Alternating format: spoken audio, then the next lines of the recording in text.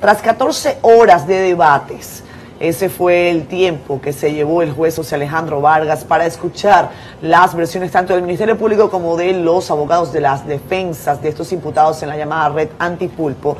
Pues definitivamente el juez Vargas de la Oficina de Atención Permanente del Distrito Nacional aplazó para este lunes a las 2 de la tarde el conocimiento de medidas de coerción a estas 10 personas. Vamos a continuación a ver un reporte que preparó Yanela Pimentel con un resumito para que ustedes tengan detalle magistrado. Por eso es que nosotros decimos de la gravedad de lo que esto implica.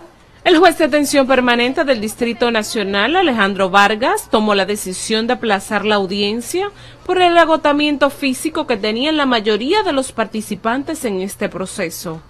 Y el juez, al darse cuenta de esa situación, nos llamó para ver cuáles eran nuestras consideraciones. En el caso de uno de los que yo represento, tiene varias condiciones de salud y también está el caso de Fernando Rosa, que tiene condiciones de salud delicadas.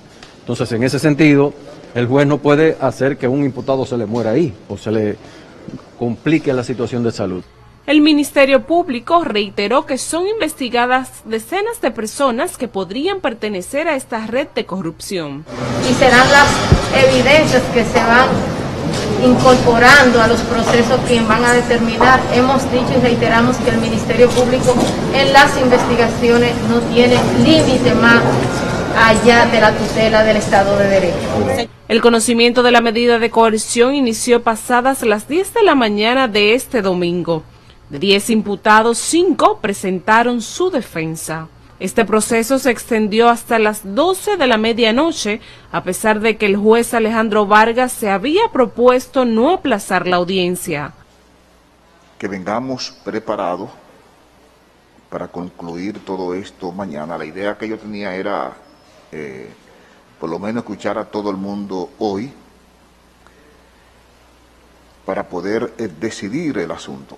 El Ministerio Público pidió un año de prisión preventiva para el expresidente del Fondo Patrimonial de las Empresas Reformadas, Fernando Rosa, para el exministro de Salud Pública, Lorenzo Wilfredo Hidalgo, para la ex vicepresidenta del FOMPER y hermana del expresidente Danilo Medina, Carmen Magalis Medina Sánchez, para el ex Contralor General de la República, Rafael Germosén, el Ministerio Público varió su posición de prisión preventiva a una domiciliaria luego de colaborar con su testimonio.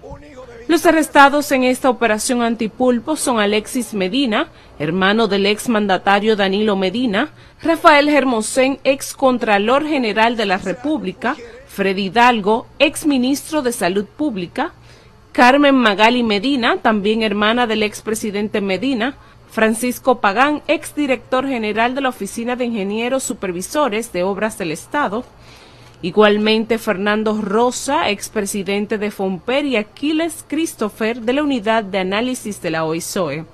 Además, Julián Esteban Suriel Suazo, José Dolores Santana Garmona y Domingo Antonio Santiago Muñoz, supuestos testaferros de Alexis. Janela Pimentel, CDN.